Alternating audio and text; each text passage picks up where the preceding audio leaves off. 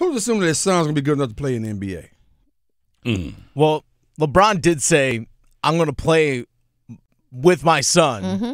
So wherever he is, I'm going to go. Yeah. So He who gonna be wouldn't one year, take him? He gonna be one year, one year, one year until he gets to his son.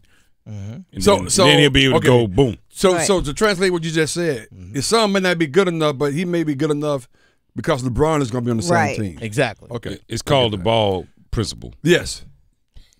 The ball ball. Okay. I got. It. I got it. I got it. I got it. Could you imagine if, let's say, the Hornets Mm-hmm. decide, like, you know, we're going to take Bronny? Oh, that'd be awesome. Ooh. That'd be awesome. Could you imagine? Funny enough, it would actually be pretty good Yes. if they take Bronny, ball is still there, and LeBron comes with him, which means two or three other tag alongs are gonna come. Of course. Hell, we got at least we, they going to playoffs.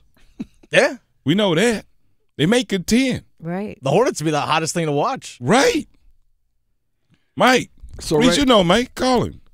so Text him real quick. so Text right him. so right now, Let me call him. Bronny is ranked like 43 in the uh, ESPN uh, class of 2023. Who? 40, yeah, Bronny James, 43. 43. He's ranked. That's what his ranking in terms of the ESPN top 100. Mm. So, so He's like, um, Danny. then Mm, mm. his schools that he's interested in coming to is Duke, Kansas. this is interesting. Pick, let's pick out the top five programs Yeah, yeah, ever. yeah, yeah. Duke, Kansas, Kentucky, Carolina, and UCLA. Are you? kidding? I mean, are you kidding me? Of course. well, put some thought I into he, it. I hope he comes to the triangle. That'd Man, be great. That, that would be awesome. that would be awesome. Go to Wake Forest, son. hey, That'd be great too. That's, that's they might be the life. best team in the ACC at that point. Maybe Kevin Keatts may get it. Where at uh Louisville. as the assistant coach.